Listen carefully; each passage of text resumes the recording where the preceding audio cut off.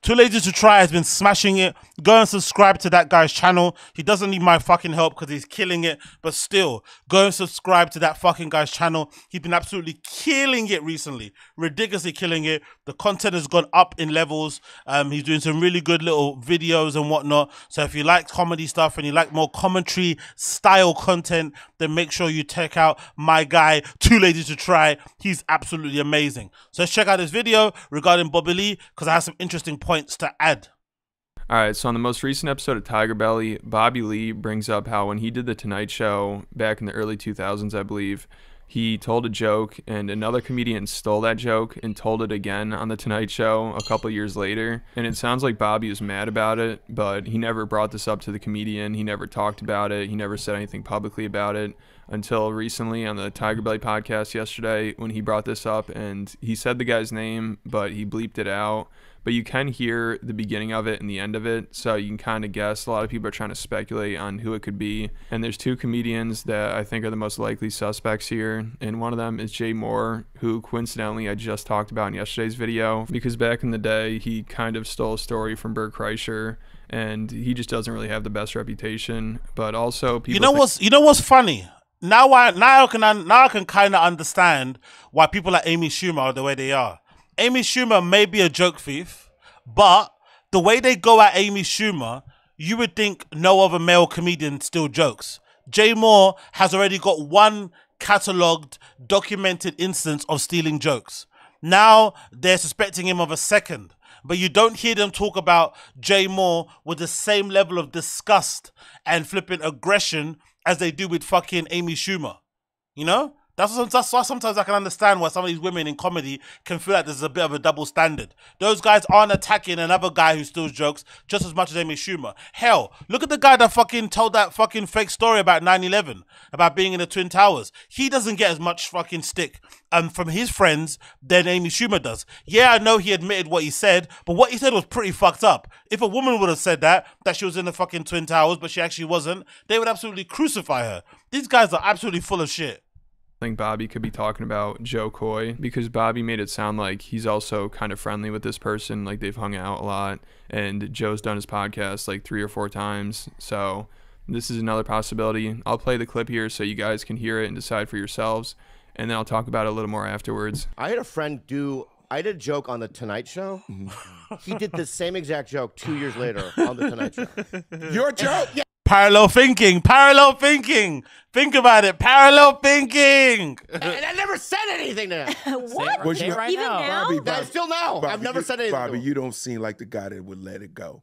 No, I, I, no, it's what, in my heart. You want to get it. You oh, got it's it. rage in my house. I'm going to get revenge for one day. Let's call him. Let's call him right now. Let's yeah, I can tell, but you have to beep it out. Yeah. Bro, just as FYI, black people, we age lovely, innit? This guy's probably in his 50s or something. Look at him. Look how amazing he looks. Look how amazing he looks. He actually looks younger than me. You know what I mean? Fucking incredible. Big up blacks. I was at the Addison Improv. You know how eh, when you're at the Improv, they tell you who's coming up? Okay. Right. So they use that clip of his coming up on this thing, and I was using that. Hilarious. right. So I, I watched it.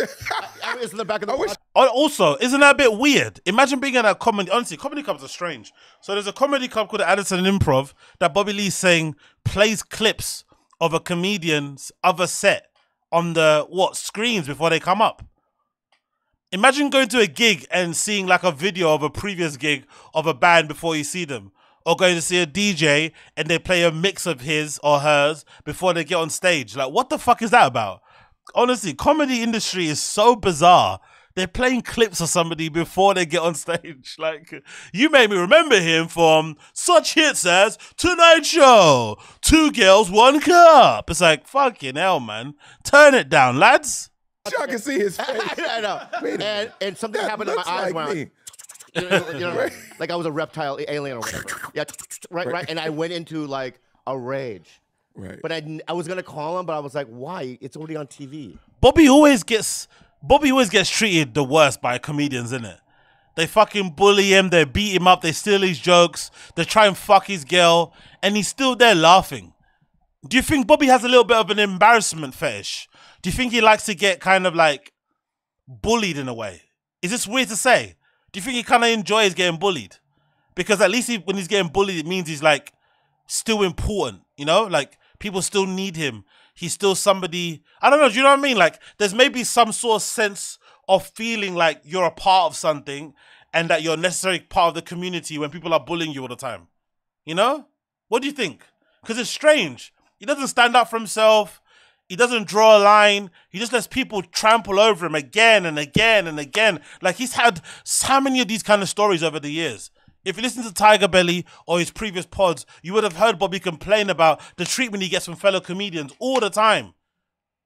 Every single time it seems to be happening. Why does he keep letting this stuff happen? No one else does this to anybody else. So weird. Uh, Pure Bella says his problem is he tries to bully people under him, so people above him do the same thing. Oh, you think so? So is Bobby Lee known as somebody that bullies his openers and people, people like that, and people coming up and open micers? Is that true? I didn't know that was a fact. I had no idea that he bullied his openers. To be fair, even if I was an open micer, I would never let someone that looks like Bobby Lee bully, bully me. I'm sorry. Like, it's not happening. Do you know what I mean? I, it, I would be offended if someone like Bobby Lee tried to bully me. Do you know what I mean? It'd be like, yo, you, of all people, like, how dare you? You've never. He already did it on TV. What the fuck am I gonna do after that? You've seen him so many times. Yeah. I, know, I, know. So I let it go. I let it go. Yeah.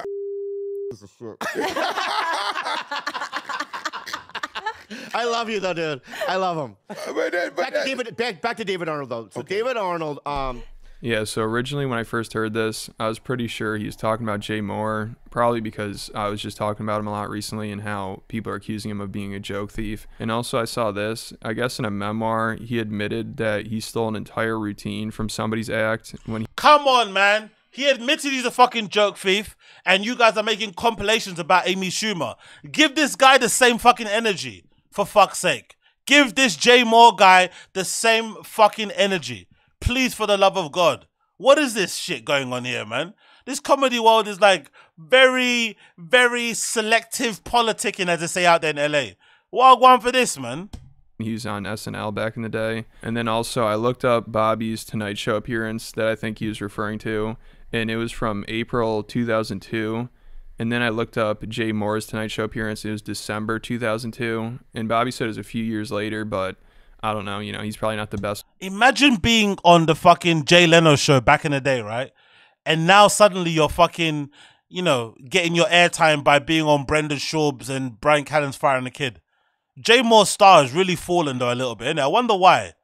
He was. It seems, but again, I don't know nothing about Jay Mohr. I only know him through basically Bert Kreischer stories. But he seemed to be fairly well regarded in industry at one time. He seemed to be very popular at one time. And then what? Now all of a sudden he's fucking having to rely on Brendan and Brian Callen. God Almighty, the entertainment industry is brutal, isn't it? It always reminds you where exactly you're at.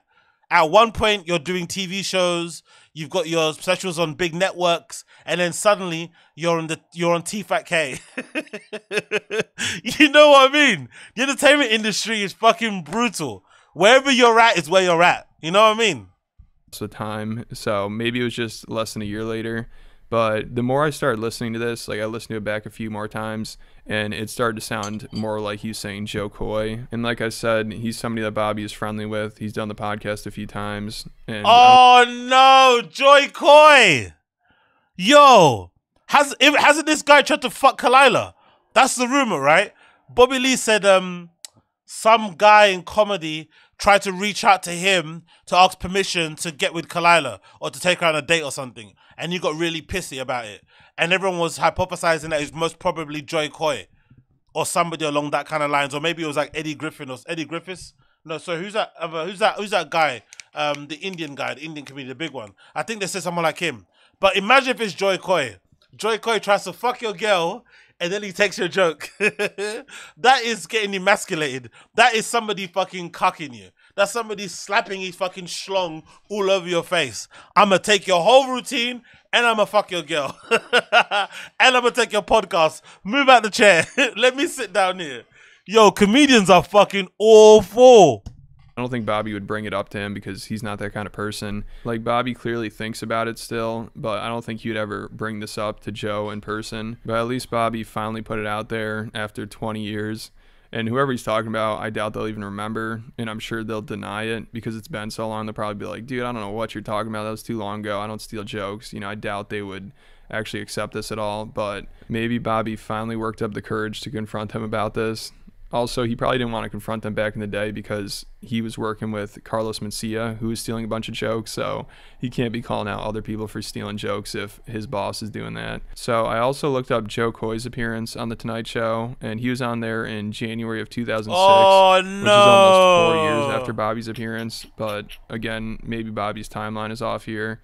And there is one other person that I saw people mentioning, but this sounds like more of a stretch. Jimmy Carr.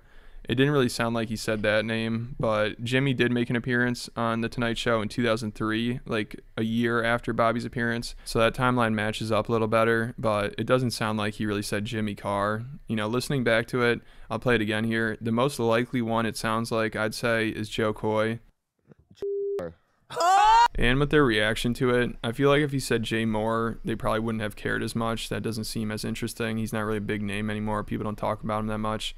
But Jo Koy, you know, he's still a big time comedian. He's doing podcasts. He's been on Bobby's podcast. It sounds like they're friendly with each other. So I just think that name would get a stronger reaction. And I just feel like that's probably the most likely person here. So maybe him and Bobby could talk about it and work things out. That'd be cool if Bobby actually can. Man, this is confronted him about absolutely it on one hilarious. I swear to God, absolutely fucking hilarious, man. Bobby's always getting cucked out by these fucking comedians. They don't have any respect for the guy whatsoever, and he seems to be such a genuine, nice soul. You know, if you don't, you know, need him in some regards, maybe. But he seems to be cool. But comedians seem to take all their fucking enjoyment out of fucking reminding him of how lowly he is compared to them. They always fucking putting their nuts on their fucking face. It's absolutely weird, man. But anyway, most likely it's Joy Coy. If it is him, he's absolute savage. He's out here fucking comedians, get asking asking a comedian for permission to fuck his girl, and also taking his joke without permission and doing on the same show. You know, verbatim. You have to stand. You have to blood clot stand. oh, these guys are fucking awful. They're the worst.